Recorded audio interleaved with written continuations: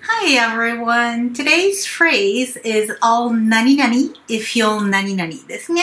えー、何々してくれたら何々するよっていう感じのフレーズですね。で、えー、I apostrophe LL を英会話スピードで言うと ao, ao, ao ですね。で、えー、if と、えー、yo がくっついて if yo, if yo, fyo, fyo, fyo, fyo ですね。えー、you apostrophe LL は英会話スピードだと yo, yo ですよね。えー、なので、if とくっつくと if yo, if yo って感じになりますね。じゃあ1番目。I'll stop reacting negatively to your mistakes if you'll just quickly apologize. I'll stop reacting negatively to your mistakes if you'll just quickly apologize. えー、stop えー、p がサイレントですね。reacting、えー、negatively。この場合の、えー、t はりでも d でもいいですね。えー、to your mistakes if you'll just quickly apologize ですね。えー apologize, えー、あ、ポーではなくて、あ、パですね、po。あ、パで、lo がラですね。apologize ですね。I'll stop reacting negatively to your mistakes if you'll just quickly apologize ですね。えー、もし、あなたが、えー、just quickly っていうのはもう本当にすぐにっていう感じですね。えー、謝ったら、えー、私は、えー、あなたのミスに対して否定的な反応はしませんってことですね。I'll stop reacting negatively to your mistakes if you'll just quickly apologize. I'll stop reacting negatively to your mistakes if you'll just quickly apologize. 2番目 I'll lower my expectations if you'll make more effort. I'll lower my expectations if you'll make more effort. えー、expectations ですね。 えー、tion シャンで、その前の a は、えー、e を入れると発音に深みが出ますね。expectations ですね。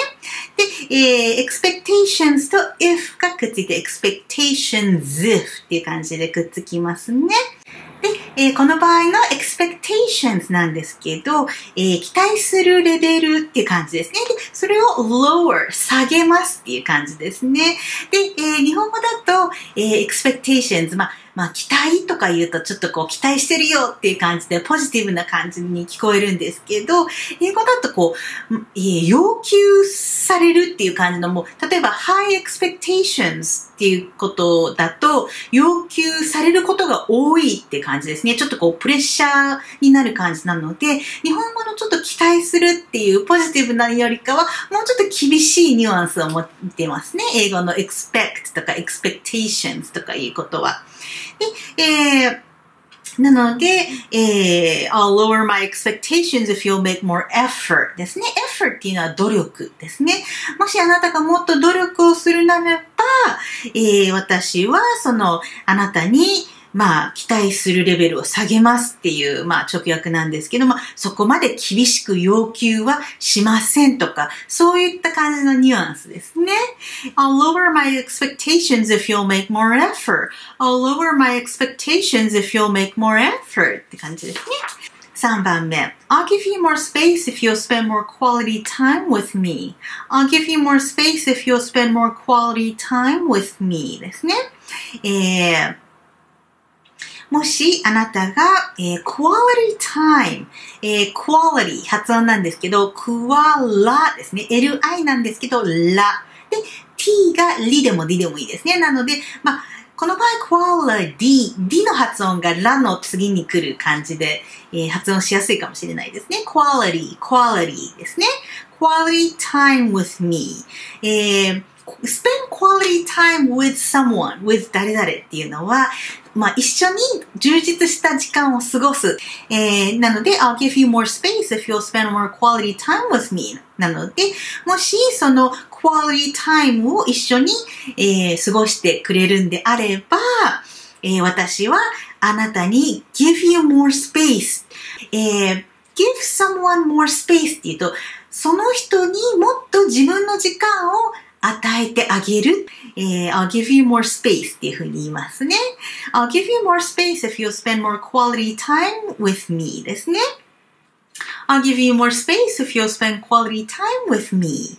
4番目 I'll empathize with you more if you'll be more vulnerable with your feelings. I'll empathize with you more if you'll be more vulnerable with your feelings.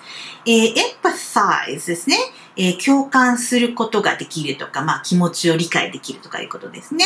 empathize, th, empathize ですね。引っ込む感じで。で、えーこれの言葉とよく似ている言葉、emphasize。これもよく使われるんですけど、強調するってことですね。で、この強調する方は、empha, ファで size ですね。えー気持ちを共感する。これもよく使われるんですけど、そっちの方は empathize ですね。empathize と強調は emphasize ですね。似ていますね。emphasize with you more if you'll be more vulnerable with your feelings. vulnerable. L がうですね。vulnerable. vulnerable ですね。で、この vulnerable っていう言葉は、えー、まあ、よく使われるんですけど、これも、まあ、辞書で引くと、まあ、弱いっていう風な、え意味が出てくるんですけど、えまあ、日本語にすると、まあ、本当に思ってる、こう、素直な気持ちになるっていう感じでもいいかもしれませんね。with your feelings。えー feelings は気持ちなので、えーですよね。なので、えーもっと、えーあなたが自分の素直な気持ちを、まあ、隠さず話してくれたら、私はもっとあなたのことを、えー理解できますって、えー理解ししますよとか、えーすることができますっていう感じですね。I'll empathize with you more if you'll be more vulnerable with your feelings. I'll empathize with you more if you'll be more vulnerable with your feelings. Alright, that'll be it for today. I'll see you in the next video.